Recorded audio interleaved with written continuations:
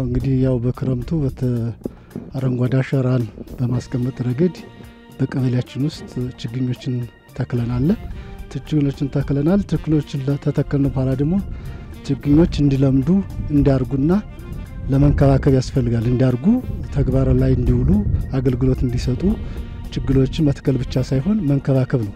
ዛሬ እኛ ከዚህ በታች ያለውን መሬታችንን ጎርፍ እየወሰደው ስለነበረ መጀመሪያ ቅድሚያ ስራ ክርት ከረት ከትረን በክረምት ሰዓት ችግኝ ቀረበልን።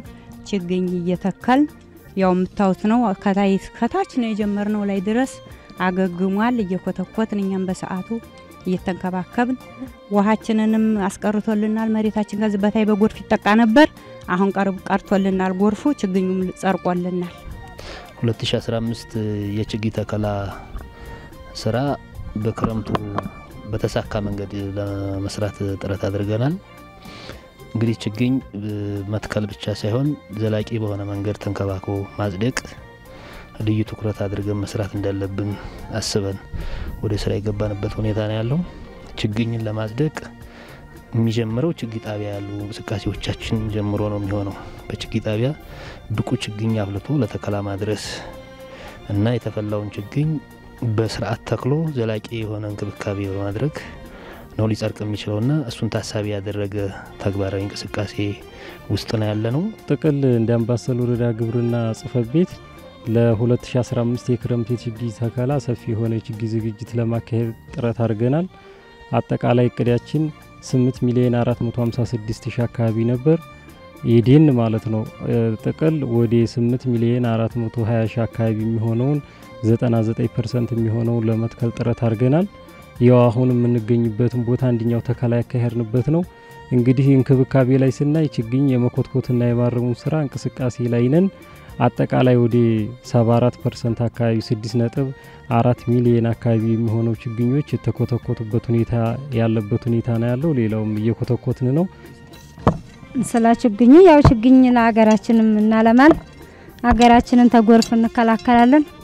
ተጎርፍም ተምንም ያው ሰብላችን እንዳይጠፋብን ስለዛ እንከላከላለን። ያው ትክልቱም ያው ለኛው ነው ለሀገራችን ነው የምናለማው። ኩትኳቶ ያው ችግኛችን እንዲለማልን ነው የምንኮተኩተው።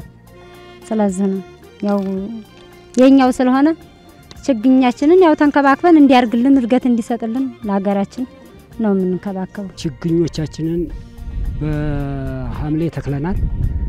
አሁን የተከልናቸውን ችግኞች እንዲወለድናቸው ልጆች መትከል ብቻ አይደለም ማንከባከብ መኮትኮት አለብን።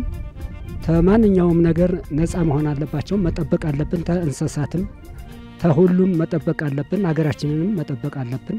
ሀገራችንንም ሰላም በእንትን ሌትና ቀን በመሆን ጥበቃ አደራጅተን እየጠበቅን ያው ችግኛችንን እያንከባከብን ነው ያለ ነው። ያው አሁን ይሄ ሐምሌ ላቂ ነው የተተከለው።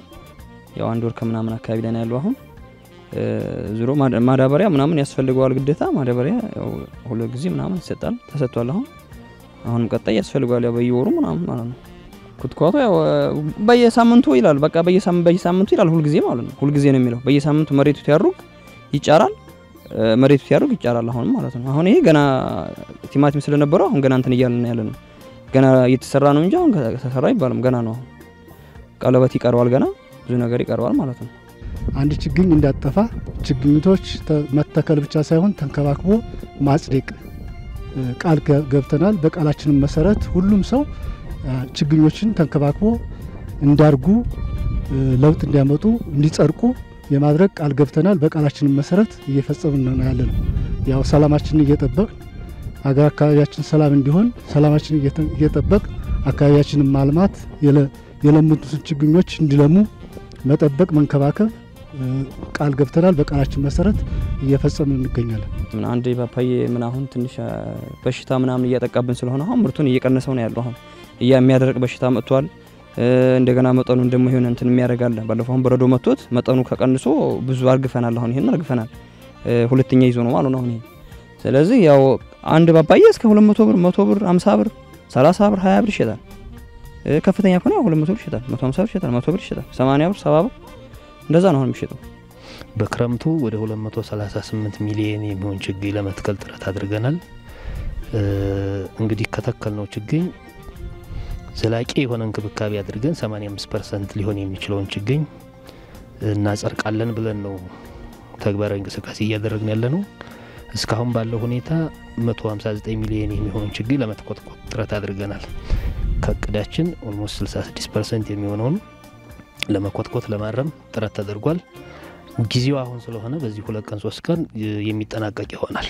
ስለዚህ ከኮትኮታ ስራችን ከአረም ስራችን አኳያ በዚህ ሳምንት አጠናቀን ሌሎች እንክብካቤ የሚጠይቁ ስራዎችን በቀጣይነት የምንሰራ ይሆናል ማለት ነው።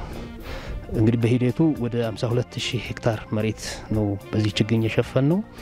አሁን ላይ የተኮተኮተው 35 ሺህ ሄክታር የሚሆነውን ለመኮትኮት ጥረት አድርገናልና እዚህ ደሴ ዙሪያም እንደምናየው አርሶ አደራችን ሻል ባለ መንገድ አስተሳሰቡን ከፍ አድርጎ ችግኝን ለመንከባከብ ለማረም ለመኮትኮት የሚያደርገው ጥረት ከጊዜ ወደ ጊዜ እያደገ የመጣ መሆኑን ነው ያየ ነው።